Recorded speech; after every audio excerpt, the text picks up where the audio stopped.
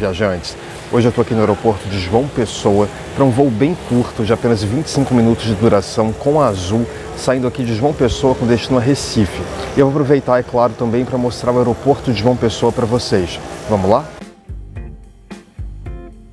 E eu vou começar esse tour pelo aeroporto aqui pela parte externa. Lembrando que o aeroporto de João Pessoa, oficialmente Aeroporto Internacional Presidente Castro Pinto, foi concedido à iniciativa privada em um leilão realizado em 2019 e desde o início de 2020 é gerido pela AENA, uma operadora espanhola que tem a concessão de mais cinco aeroportos aqui no nordeste do Brasil, incluindo Recife, o principal hub de conexões da região.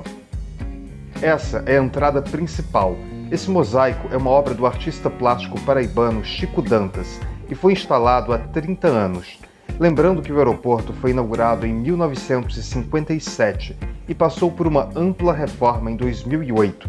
A minha impressão é de que é um terminal bem cuidado e aparentemente bem administrado.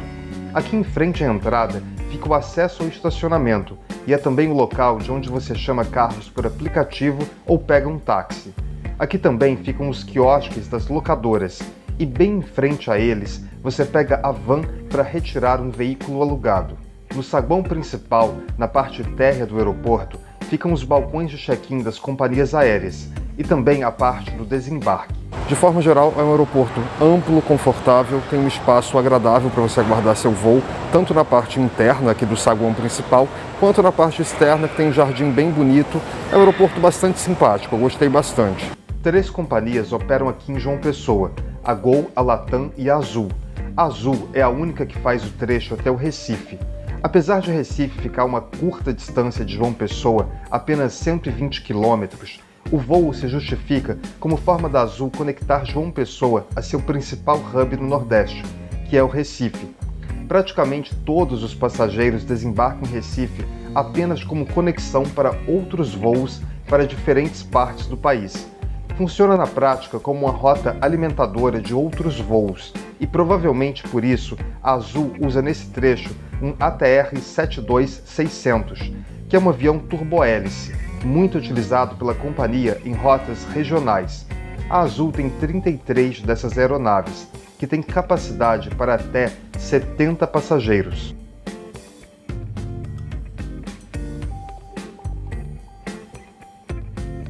E aqui no segundo piso você tem uma praça de alimentação, que é um espaço também bem amplo, bem confortável. Você tem várias opções aqui, tanto lanchonete quanto café, fast food, restaurante tem algumas lojinhas também com produtos típicos, esse tipo de coisa. E também aqui fica o acesso ao embarque.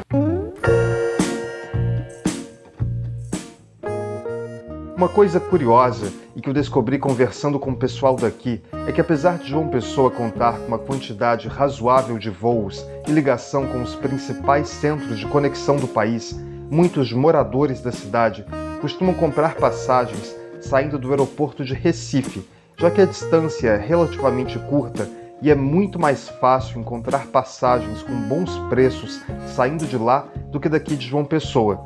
Esse é um fenômeno que também acontece em outras regiões do país. Um caso clássico é o aeroporto de Viracopos, em Campinas. Apesar da Azul operar uma quantidade enorme de rotas saindo de Campinas, se você mora na região, costuma ser muito mais barato pegar um voo saindo de Guarulhos ou Congonhas. Mas vamos seguir que está na hora do embarque. A sala de embarque, como vocês podem ver, tem um espaço razoável e conta com uma lanchonete, que estava fechada, acredito que pelo horário, e com uma lojinha de souvenirs. Daqui dá para avistar a pista e lá está o ATR que vai nos levar hoje até o Recife. O embarque é feito por essa espécie de grande passarela coberta, te deixa próximo à aeronave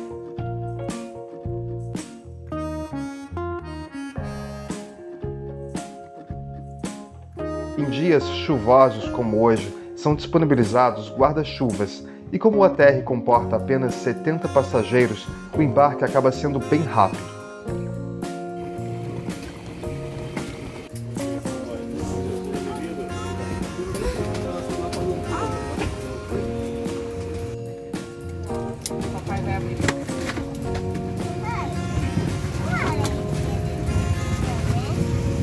bordo. O meu nome é Romano Rocha, o ex-comissário líder deste voo, e junto com a comissária Aline Dutra fazemos parte da tripulação do comandante Flávio e do primeiro oficial Victor. Duas boas-vindas a bordo do nosso voo 4069 com destino a Recife. Nós já fechamos as portas, então todos os equipamentos eletrônicos, inclusive os telefones celulares, devem ser desligados. Peço por gentileza que afivele o cinto de segurança retorne o encosto da poltrona para a posição vertical, feche e trate a mesinha à sua frente. Como responsáveis pela sua segurança e conforto durante toda a viagem, pedimos a sua atenção aos procedimentos que demonstraremos a seguir.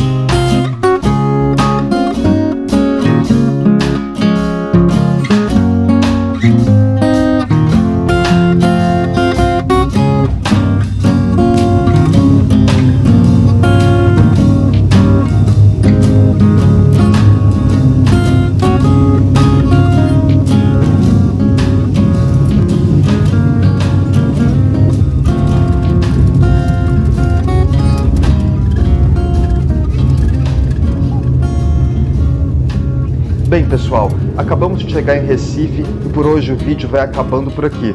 Eu espero que tenham gostado de conhecer mais esse aeroporto e do voo em uma TR, a aeronave que eu ainda não tinha mostrado aqui no canal. Se você gostou, não esquece de deixar o seu like e se não é inscrito e gosta de aviação e conhecer novos lugares e destinos Brasil afora, se inscreve no canal. Um grande abraço e até a próxima!